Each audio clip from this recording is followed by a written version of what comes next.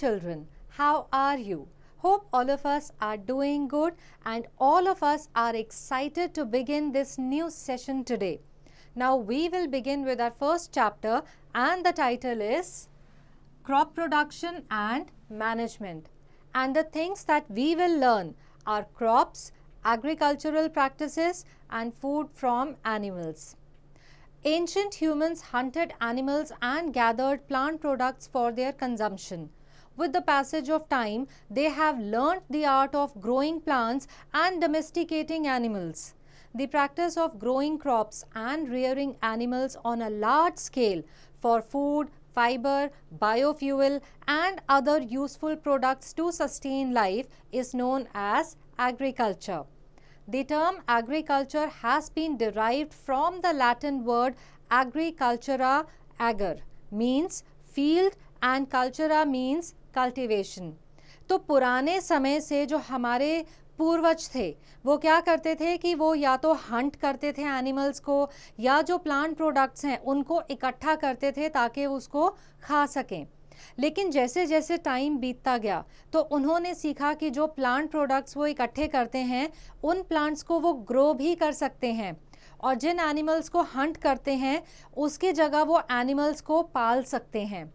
तो ये जो प्रैक्टिस है ना, जिसमें इन्होंने क्रॉप्स ग्रो करने शुरू करे और एनिमल्स को पालना शुरू करा ताकि उनको खाना, फाइबर, बायोफ्यूल और इनसे रिलेटेड अलग अलग प्रोडक्ट्स मिल सकें, जिससे कि इनका जीवन अच्छे से व्यतीत हो। तो इस प्रैक्टिस को कहा जाता है एग्रीकल्चर। अब जो एग्रीकल्चर है, ये लैटिन वर्ड एग्रीकल्चरा से हमने डिराइव किया है। एगर का मतलब है फ़ील्ड और कल्चरा का मतलब है cultivation. It is a fact, a branch of agriculture that deals with the cultivation of fruits, vegetables, flowers and ornamental plants is known as horticulture. Now think, why do some people keep neem leaves on a grain storage container? Now, due to increase in human population, the demand for agricultural products has also increased. अब जैसे जैसे हमारी आबादी बढ़ती है तो obviously agricultural products की demand तो बढ़ ही जाती है Now, this has led to a need for implementation of effective measures to increase the crop production and storage. Now, let us look at crops. The same kind of plants grown and cultivated at one place on a large scale is called a crop.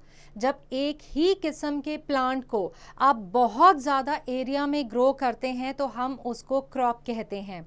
अब crops जो हैं, इनको हम classify कर सकते हैं कि ये किस रीज़न से ग्रो करे जा रहे हैं। So let us look at the reasons first is food crop crops like grains and vegetables that are grown for food are called food crops. तो हमारे जो grains और vegetables हैं, जिनको हम खाने के लिए grow करते हैं, उन्हें food crops कहते हैं। Then plantation crops. Crops like sugarcane, coffee, tea, tobacco, oil palm and rubber that are grown on large estates of land are called plantation crops. तो हमारे plantation crops कौन कौन से हैं sugarcane, coffee, tea, tobacco, oil palm या फिर rubber. Next we have cash crops. Crops like oilseeds, nuts, cotton, spices and plantation crops that are grown for profit are called cash crops. तो वो वाले plants जिनको हम grow करते हैं ताकि उनसे हमारी कुछ कमाई हो सके उन्हें कैश क्रॉप्स कहते हैं और इनके एग्जांपल्स हैं oil seeds nuts cotton spices etcetera Now crops can be classified on the basis of the season in which they are grown. Now these are as follows. First we have the kharif crops.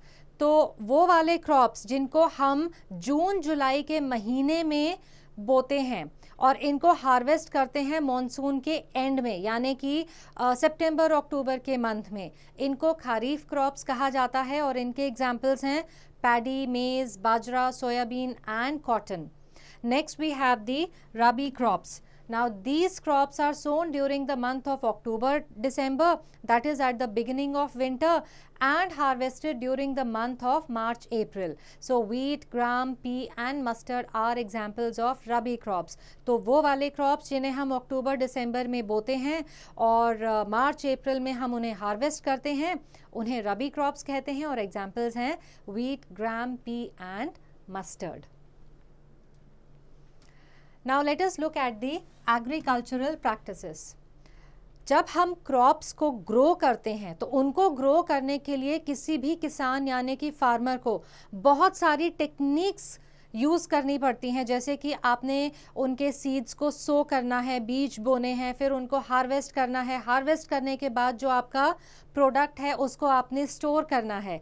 तो ये जो अलग अलग practices हम या farmers adopt करते हैं, जिससे कि अलग अलग टाइप के क्रॉप्स ग्रो किए जाते हैं, इन सब टेक्निक्स और प्रैक्टिसेस को इकट्ठा हम क्या बोलते हैं? Agricultural practices now the common agricultural practices are listed here So you have preparation of soil, selection and sowing of seeds, addition of manure and fertilizers, irrigation that is watering of crops, then protection of crops from weeds and pests, harvesting, threshing and winnowing and storage. तो सबसे पहले let us look at the preparation of soil. अब Plants को जब हम grow करते हैं तो उनको कुछ चीज़ें चाहिए होती हैं ताकि वो ठग से ग्रो कर सकें। अब वो चीज़ें क्या हैं?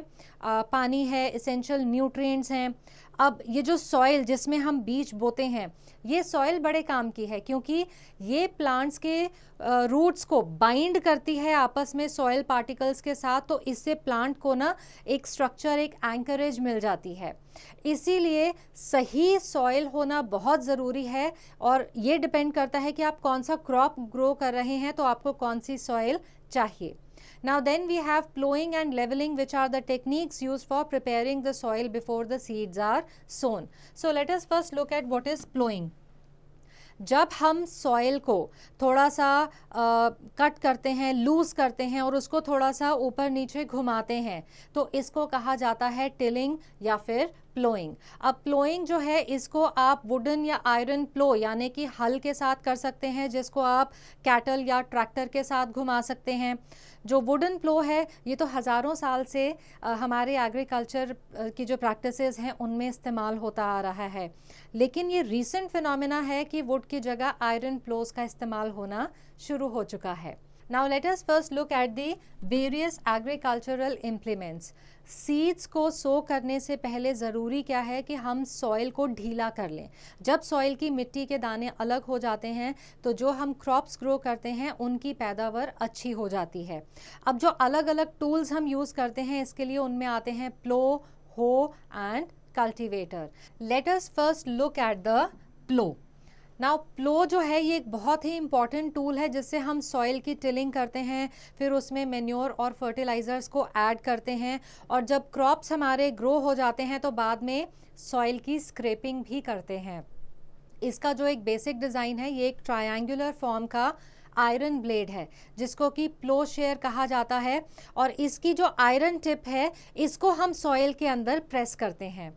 The main part of the plow is a long log of wood which is called a plow shaft. A beam is tied to the plow and laid across the backs of a pair of animals to plow the field. The farmer presses the plowshare into the ground while walking behind the animals. तो ये जो आपका प्लो shaft है, ये एक लंबा would का, लकड़ी का सरिया से जैसा होता है और इसके जो आगे है वो बीम्स लगी होती हैं जिनको कि हम एनिमल्स की पीठ पर रखते हैं ताकि वो प्लो कर सकें, यानी कि हल चला सकें नेक्स्ट कम्स दी हो It is a simple tool which is used for removing weeds and for loosening the soil. It has a long rod of wood or iron. A strong, broad and bent plate of iron is fixed at one of its ends and it works like a blade. तो हो जो है इससे आप weeds soil uh, में ढीला करते हैं ताकि आप उनको फिर निकाल सकें Then we have the cultivator. A cultivator is a ploughing tool that has multiple blades मतलब ये वो वाला हल चलाने वाला औज़ार है जिसके ब्लेड्स बहुत ज़्यादा होते हैं मल्टीपल ब्लेड्स होते हैं इसमें Nowadays, tractor is the most commonly used cultivator. Although tractor is expensive, but it saves a lot of time and labor. Then we come to leveling. अब जब हमने फ़ील्ड को प्लो कर लिया ताकि वो जो फ़ील्ड है आ, उसकी मिट्टी ढीली हो जाए। तो इसकी जो सरफेस है ये थोड़ी सी रफ़ हो जाती है और रफ़ होने की वजह से जो पानी का सर्कुलेशन है जब भी हम फ़ील्ड में पानी देते हैं इरीगेट करते हैं या फिर जब हम सीड्स को इसमें सो करते हैं तो इसका लेवल थोड़ा सा टेढ़ा मेढ़ा या रफ सा हो जाता है। अब इसके वजह से ऊपर जो मिट्टी है उसमें मोटे मोटे से चंक्स या लम्ब्स जैसे बन जाते हैं। तो इन लम्ब्स को हम तोड़ते हैं क्रश करते हैं वुडन प्लैंक्स या फिर आयरन प्लैंक्स यूज़ करके। इन प्लैंक्स को लेवलर्स कहा जाता है। They help to level the soil this practice is called levelling now we come to selection and sowing of seeds अब जो हमने सीड्स को फ़ील्ड में सो करना है ताकि हमारे क्रॉप्स अच्छे हों, उनकी सिलेक्शन बड़ी केयरफुली करी जाती है कि ये सीड्स अच्छे क्वालिटी के हों हेल्दी हों, इनमें कोई डिजीजेस ना हो। जब हमने सीड सिलेक्ट कर लिए, फिर इनको हम फ़ील्ड में सो करते हैं। Now sowing is the process of planting seeds in the prepared soil तो जो सॉइल आपने प्रिपेयर करी थी, उसमें जब आप बीज को बोते हैं, उस प्रोसेस को सोइंग कहा जाता है।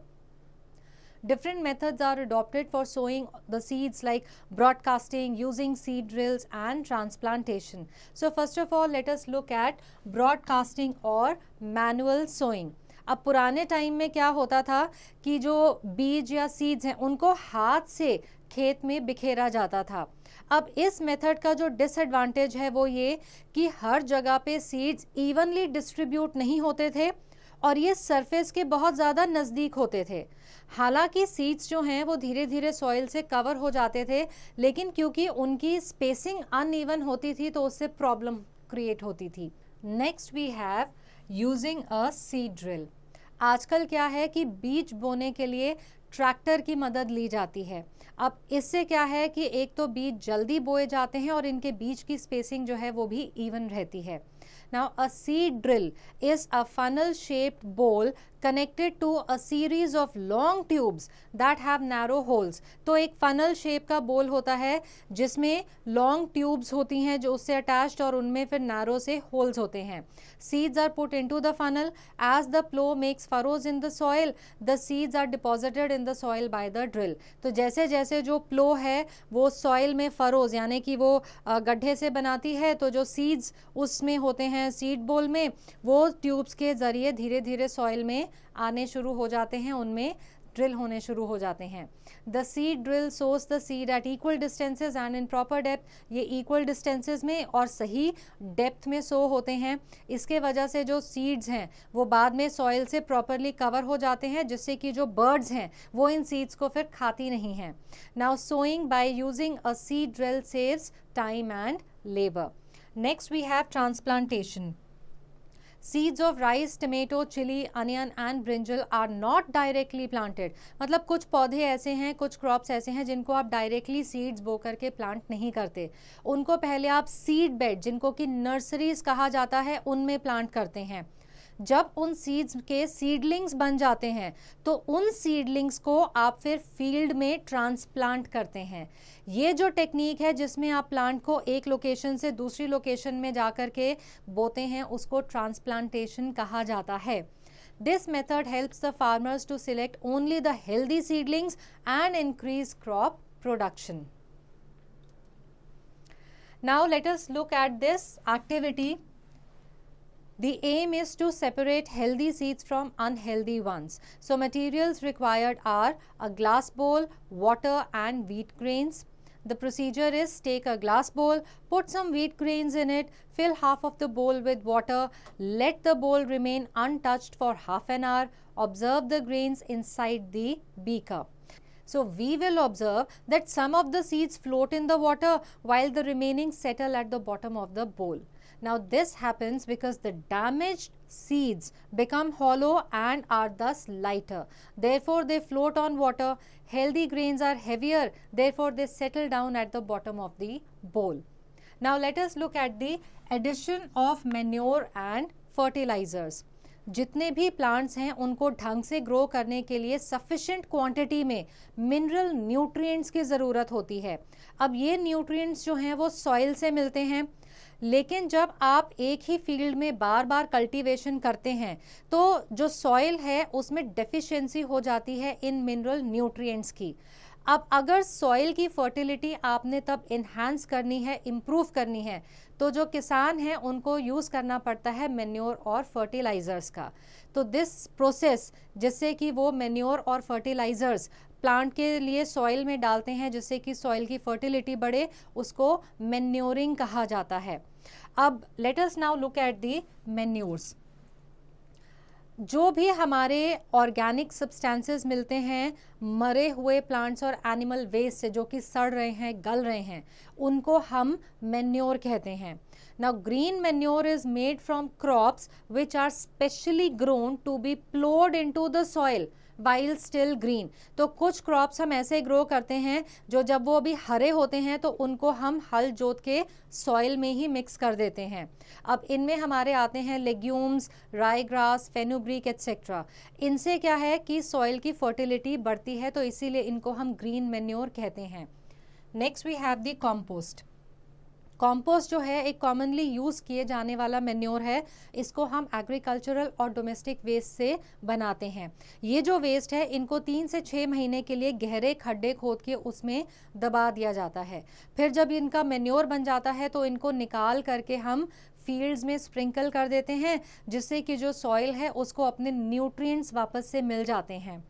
अब ये जो कंपोस्ट है, ये ऑर्गेनिक न्यूट्रिएंट्स में बहुत ही रिच होता है, लेकिन कुछ ऐसे न्यूट्रिएंट्स हैं जैसे कि नाइट्रोजन फास्फोरस पोटेशियम वो इसमें नहीं होते या फिर बहुत ही कम होते हैं। तो उनकी कमी को पूरी करने के लिए हम यूज़ करते हैं फर्टिलाइजर्स तो फर्टिलाइजर्स जो हैं they are man made chemical substances that contain one or more nutrients which are essential for the growth of plants अब फार्मर्स जो हैं वो जनरली एन का यूज़ करते हैं या फिर एन um, जो है उसमें आपका नाइट्रोजन फॉस्फोरस और पोटेशियम होता है।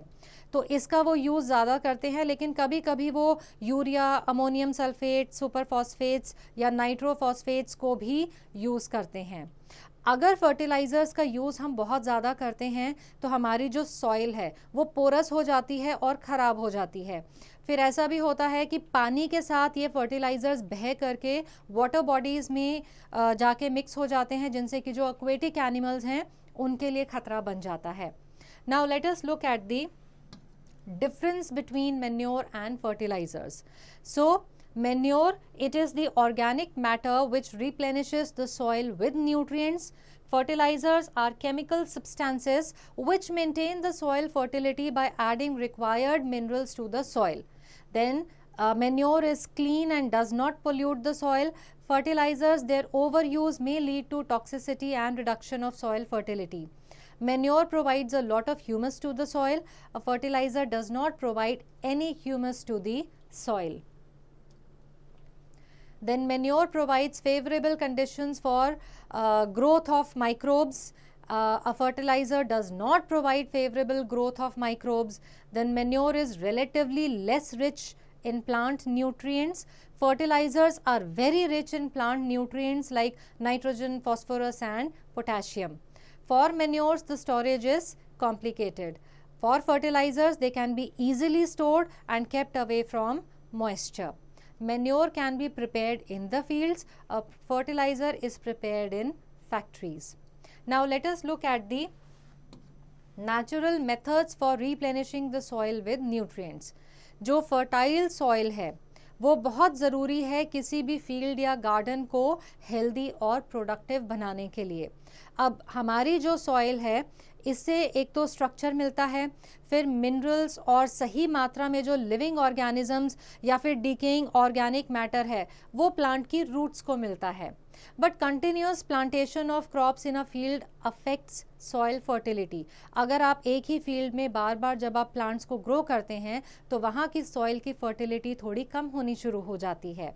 Plants utilise all the nutrients from soil which leads to depletion of nutrients in the soil as a result soil fertility reduces drastically Therefore, farmers use different methods to maintain fertility of the soil or to replace the lost nutrients. तो क्योंकि बार बार plants को grow करने से plants जो हैं soil के nutrients को absorb करना शुरू करते हैं तो वो न्यूट्रिएंट्स कम होने शुरू हो जाते हैं जिससे सॉइल की फर्टिलिटी उपजाऊ क्वालिटी जो है वो कम होनी शुरू हो जाती है तो फार्मर्स को बहुत सारे मेथड्स का यूज़ करना पड़ता है सॉइल की फर्टिलिटी को रिप्लेस करने के लिए the first one is keeping the field fallow अब एक बहुत ही आसान तरीका है जिससे आप सॉइल की फर्टिलिटी को बढ़ा सकते हैं। इसमें फार्मर्स क्या करते हैं कि जब एक बार कोई एक क्रॉप को आपने ग्रो करके आपने उसको हार्वेस्ट कर लिया तो उसके बाद कुछ सीजन्स के लिए वहाँ पे आप कुछ भी ग्रो नहीं करते। इससे क्या है कि नेचुरल तरीके से सॉइल में न्यूट्रिएंट्स रिप्लेनिश हो जाते हैं, क्योंकि वहाँ पे जो डेड प्लांट्स और एनिमल्स हैं, उनकी डीकम्पोजिशन होती है तो वो वापस से मिट्टी में न्यूट्रिएंट्स मिला देते हैं। नेक्स्ट इज़ क्रॉप रोटेशन इस मेथड में क्या होता है कि आप दो या दो से ज़्यादा क्रॉप्स को ऑल्टरनेटिवली सेम लैंड पे अलग अलग सीजन्स या सेम सीज़न में ग्रो करते हैं। For example after growing wheat for a season a legume crop like peas gram and groundnut is grown on the same land आपने एक लैंड पे पहले वीट उगाई, एक सीज़न में, उसके बाद नेक्स्ट सीज़न में आप वहाँ पे लेग्यूम क्रॉप्स होते हैं ना, जो जैसे कि आपके पीस ग्राम ग्राउंडनट्स वो आप ग्रो करते हैं। अब जो रूट्स होती हैं लेग्यूमिनस प्लांट्स की, उनमें नाइट्रोजन फिक्सिंग बैक्टीरिया होते हैं, जिनको हम राइजोबियम कहते हैं। ये जो बैक्टीरिया हैं, ये एटमोस्फेरिक नाइट्रोजन को कन्वर्ट कर देते हैं, जो कि वाटर सोल्यूबल नाइट्रोजन में फिर कन्वर्ट होते हैं और उनको हमारे जो प्लांट्स हैं वो फिर यूज़ कर सकते हैं। इसके बाद क्या होता है कि सॉइल नेक्स्ट क्रॉप के लिए फिर रेडी हो जाती है। Next we have mixed cropping अब इसमें क्या है कि आप दो या दो से ज़्यादा तरीके के क्रॉप्स को एक ही टाइम में सेम फ़ील्ड में ग्रो करते हैं। अब क्रॉप्स इस तरह से आप सिलेक्ट करते हैं कि वो एक दूसरे की जो न्यूट्रिएंट रिक्वायरमेंट है, उसको पूरा कर सके। So any leguminous crop such as peas or beans and a cereal crop such as wheat or rice can be grown together in the same field now we come to irrigation जितने भी plants हैं, उनको पानी की requirement होती है। पानी की वजह से लीव्स में फोटोसिंथेसिस होती है और पानी जो है वो लीव्स में ट्रांसपिरेशन के थ्रू एटमॉस्फेयर में भी जाता है। तो बहुत सारे बायोकेमिकल प्रोसेसेस जो प्लांट में होते हैं, उसके लिए पानी की रिक्वायरमेंट रहती है। अब ये पानी जो है फार्मर्स को रेगुलर इंटरवल पे अपने क्रॉप्स को देना पड़ता है। इस प्रोसेस को इरिगेशन कहा जाता है। Although all plants require water for germination, yet they differ in their water requirements. कुछ क्रॉप्स हैं उनको बहुत ही कम पानी चाहिए और कुछ क्रॉप्स ऐसे हैं जिनको बहुत सारा पानी चाहिए अपनी ग्रोथ के लिए The main sources of irrigation are wells, tube wells, ponds, lakes, rivers, dams and canals. Now there are different traditional and modern methods of lifting water from these sources. तो हम अब ये वाले traditional methods देखेंगे irrigation के जिनसे इस पानी को आप अलग अलग sources से अपने plants तक पहुंचाते हैं so the water available in the canals and lakes are lifted up by different methods in different regions for taking it into the fields cattle और human beings जो हैं वो ट्रेडिशनली इस काम के लिए बहुत ज़्यादा इस्तेमाल में आते हैं। अब ये जो कैटल और ह्यूमंस को यूज़ करने का तरीका है, ये थोड़ा सस्ता पड़ता है, लेकिन ये बहुत ज़्यादा एफिशिएंट नहीं है। The various traditional ways of lifting water are moat which is pulley system chain pump rahat which is a water wheel and dhekli अब ज़्यादातर पंप का इस्तेमाल होता है पानी को इसके सोर्स से लिफ्ट करने के लिए। Biogas, electricity, diesel and solar energy are used to operate these pumps. Now let us look at the modern methods of irrigation अब दो मॉडर्न और बहुत ही इकोनॉमिक तरीके हैं इरिगेशन के वो हैं sprinkler system and drip system so first of all let us look at the sprinkler system अब इस मेथड में हम अनइवन लैंड में सफिशेंट क्वांटिटी में वाटर सप्लाई कर सकते हैं। The water is allowed to flow through the main pipe under pressure with the help of a pump. It escapes from the rotating nozzle. This system is very useful for sandy soils. तो इसमें क्या है कि आप एक main pipe के ज़रिए pressure के साथ पानी को भेजते हैं फिर इस पाइप के ऊपर एक नोज़ल लगा होता है जो रोटेट करता है और इस नोज़ल के ज़रिए जो है आप अगर यहाँ पिक्चर में देखेंगे तो पानी हर जगह इवनली पहुँच जाता है next we have the drip system Now drip irrigation is also known as trickle irrigation. In this system the water falls drop by drop just at the root points. This method is suitable for watering fruit plants and trees.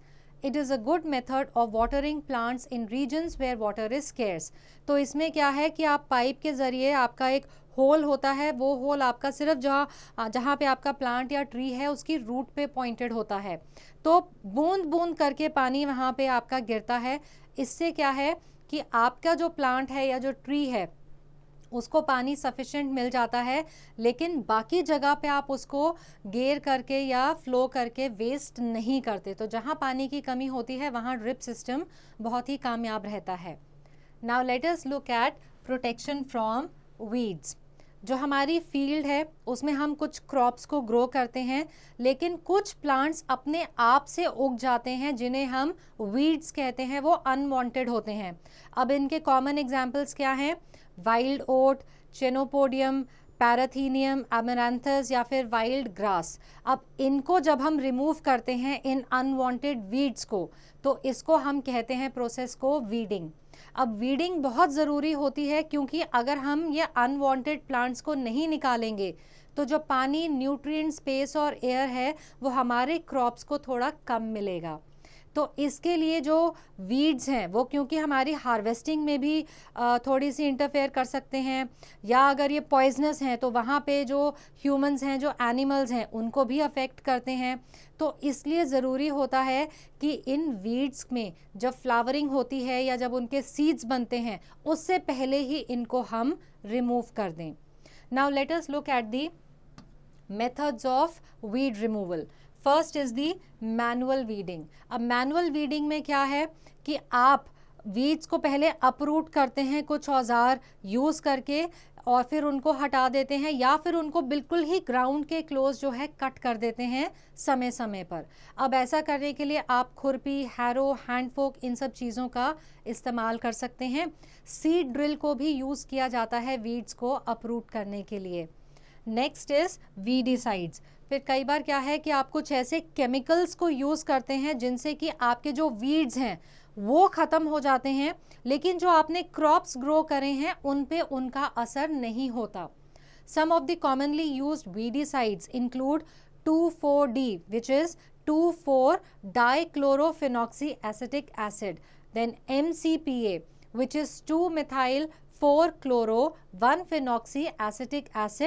dalapon etcetera इनसे जो है crops damage नहीं होते। VD sides को आप पानी में dilute करते हैं और फिर आपकी जितनी रिक्वायरमेंट होती है, उसके हिसाब से आप इनको फ़ील्ड में स्प्रे कर देते हैं स्प्रेयर के इस्तेमाल से। अब वीडी साइड से वीड्स मरते हैं, लेकिन सेम टाइम जब आपके क्रॉप्स वैसे तो इनसे अफेक्ट नहीं होते, लेकिन ये जो वीडी साइड्स हैं, आपके क्रॉप की जो पत्तियाँ होती हैं, उसके सरफेस पे रह जाते हैं। तो इसलिए ज़रूरी है कि जब भी आप वेजिटेबल्स फ्रूट्स खाएँ, उससे पहले आप उसको बहुत अच्छे से साफ़ पानी से धो लें।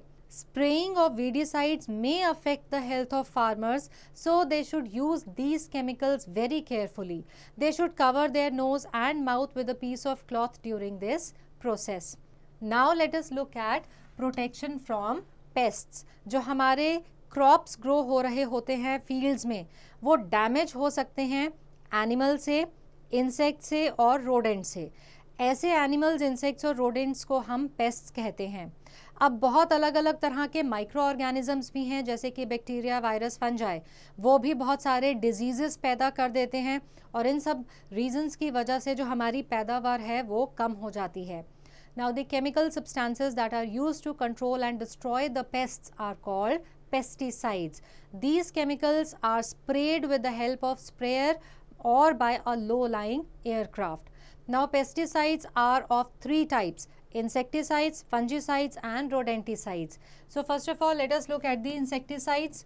इनको हम इंसेक्ट्स को मारने के लिए यूज़ करते हैं इनके कॉमन एग्जाम्पल्स हैं डीडीटी यानी कि dichloro diphenyl trichloro ethane and BHC जो है हमारा benzene hexa chloride next we have the fungicides अब इनका इस्तेमाल करते हैं हम अलग अलग तरह के फंजाई को मारने के लिए। इनके एग्जाम्पल्स हैं sulphur salts and copper salts then we have the rodenticides इनको यूज़ करते हैं हम अलग अलग तरह के रोडेंट्स जैसे कि चूहे वगैरह होते हैं, उनको मारने के लिए। इनके एग्जाम्पल्स हैं warfarin and zinc. Phosphide now us look at harvesting threshing and winnowing जब हमारी क्रॉप मेच्योर हो जाती है तो हम उसको मेन प्लांट से कट कर देते हैं। फिर उसके जो ग्रेन्स हैं, उनको हम इकट्ठा करते हैं और उसके साथ का जो वेस्ट होता है, उससे हम उसको अलग कर देते हैं। अब इसमें तीन स्टेप्स लगते हैं। सबसे पहला है harvesting Now, the process of cutting the mature crop to gather grains is known as harvesting. जब आपका crop mature हो गया है तो आप उसको कट करते हैं ताकि आप उसमें से ग्रेन्स को ले सकें, इस प्रोसेस को हार्वेस्टिंग कहते हैं। इसमें क्या है कि क्रॉप्स को या तो आप मिट्टी में से बाहर खींच लेते हैं या फिर बिल्कुल ग्राउंड के क्लोज से उसको कट कर देते हैं। यूजुअली जो है, तीन से चार महीने में जो हमारे सीरियल क्रॉप है, वो मेच्योर हो जाते हैं। Now harvesting can be done manually by using a sickle sickle क्या है? एक छोटा सा इंस्ट्रूमेंट है जिसका शार्प सिरेटेड एक एज uh, वाला मेटल ब्लेड होता है जो कि एक वुडन हैंडल के साथ अटैच्ड होता है। Then it can also be done by using a machine called a harvester next process or step is threshing अब इस प्रोसेस में आप ग्रेन को उसकी स्ट्रॉ और शाफ से अलग करते हैं तो इस प्रोसेस को आप थ्रेशिंग कहते हैं। इसको आप कंबाइन नाम की मशीन से कर सकते हैं। In fact a combine harvester and thresher are use together nowadays next step is winnowing farmers with small holdings of land do the separation of grain and chaff by a process called winnowing. अब इस process में क्या है कि आप grains को एक height से नीचे की तरफ़ फेंकते हैं। उससे क्या है, जो हल्के सब्सटेंस होते हैं ना, उसका जैसे छिलका या शैफ वो हवा से थोड़ा दूर पर जाकर के गिरता है और जो हैवी ग्रेन्स हैं, वो सीधे नीचे ग्राउंड पे गिर जाते हैं और दोनों अलग हो जाते हैं। नेक्स्ट कम्स स्टोरेज अब हमारे क्रॉप्स ग्रो हो गए, उनको हमने हार्वेस्ट कर लिया। अब उनको स्टोर करना बहुत इंपॉर्टेंट टास्क है। स्टोर अगर हम प्रॉपरली करते हैं तो इन ग्रेन्स को ज़्यादा टाइम तक हम मॉइस्चर इंसेक्ट्स रैट्स और माइक्रो ऑर्गेनिज्म से बचा करके रख सकते हैं। The freshly harvested grains or seeds have more moisture now the presence of moisture promotes the microbial growth इसीलिए आप ग्रेन्स आपके स्पॉइल होने से बचे रहें इसके लिए ज़रूरी है कि आप ग्रेन्स का जो स्टोरेज एरिया है, उसको मॉइस्चर से फ्री रखें। तो सबसे पहले आप ग्रेन्स को सन में सुखाते हैं, फिर उनको गनी बैग्स यानी कि बोरियों में या फिर मेटालिक बिन्स में अच्छे से भर करके गोडाउंस में स्टोर करते हैं। इससे क्या है कि आपके ग्रेन्स पर इंसेक्ट्स पेस्ट्स बैक्टीरिया और फंजाई अटैक नहीं करते। The large scale storage of grains is done in silos and granaries to protect them from pests like rats, microbes and insects. ये जो आप पिक्चर देख रहे हैं इनको हम साइलोज कहते हैं सो so, साइलोज जो हैं ये बहुत ही बड़े एयर टाइट सिलेंड्रिकल स्ट्रक्चर्स होते हैं, जिनमें हम ग्रेन्स को स्टोर करते हैं। और ग्रेनरीज जो हैं, वो बहुत बड़े बड़े रूम्स होते हैं, जो कि ग्राउंड लेवल से ऊपर बनाए जाते हैं, ताकि यहाँ पे रोडेंट्स पेस्ट वगैरह जो हैं, वो ना आ सकें। Now dried neem leaves are use for storing food grains at home For storing a large quantity of grain, specific pesticides are often sprayed in godowns beforehand to protect them from pests and microorganisms. Now let us look at food from animals. Animals एक बहुत ही important source हैं खाने का पूरे विश्व में अलग अलग एनिमल प्रोडक्ट्स को खाने पीने के लिए इस्तेमाल किया जाता है, जैसे कि eggs chicken meat fish milk और मिल्क प्रोडक्ट्स अब ये जो फ़ूड प्रोडक्ट्स हैं, इनको बहुत ज़्यादा इस्तेमाल में हम लाते हैं क्योंकि ये बहुत ज़्यादा न्यूट्रिशियस होते हैं और हमारी हेल्थ के लिए अच्छे होते हैं so rearing and breeding livestock on a large scale to obtain food and other products from them is called animal husbandry. Now, let us take a quick recap the same kind of plants grown and cultivated at one place on a large scale is called a crop. Plowing and leveling are the techniques used for preparing soil before the seeds are sown. Hoe is a simple tool which is used for removing weeds and for loosening the soil. Broadcasting is the ancient method of sowing seeds in which the seeds are scattered by hands. The technique of moving the plants from one location to the other is called transplantation. The removal of unwanted plants from the fields in which crop plants are grown is called weeding. The process of cutting the mature crop to gather grains is known as harvesting. So, I hope that this chapter is clear to all and answering questions based on this chapter will now be easy.